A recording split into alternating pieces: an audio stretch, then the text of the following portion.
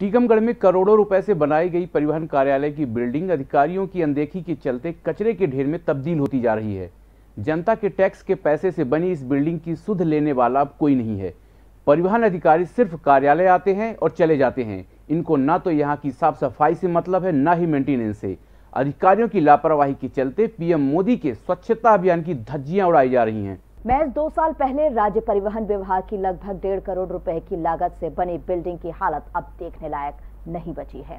परिवहन अधिकारियों और कर्मचारियों की लापरवाही के चलते बिल्डिंग कचरे के ढेर में बदलती जा रही है। परिवहन विभाग उदासीनता और दलाली के चलते अधिकारियों ने इस आलिशान बिल्डिंग में कभी झाड़ू लगवाना भी उचित नहीं समझा।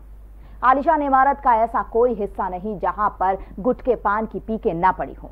टूटी हुई महँगी चेयर हॉल में चल रहे अनावश्यक पंखे, इस बात का जीता जाता प्रमाण है कि यह आलिशान परिवहन विभाग का ऑफ़िस दलाली का अड्डा बन गया है और इसकी साफ़ सफ़ाई में अधिकारियों को कोई सरोकार नहीं है।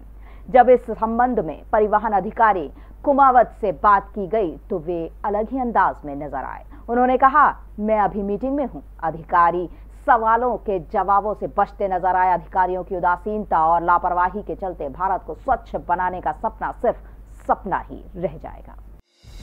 संगीत की स्वर लहरियों से सांस्कृतिक ताने बाने तक चंबल के पीड़ों से नक्सलवादियों के गढ़ तक झोपड़ी से महलों तक ठेलों से मेलों तक पगडंडियों से सड़कों तक गाँव से शहरों तक व्यापार से उद्योगों तक। राजनीति से कूटनीति तक।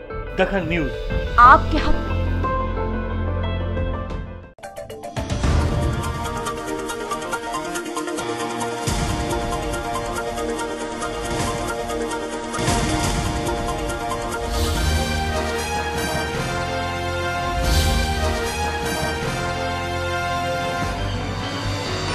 आप देख रहे हैं दखल न्यूज़।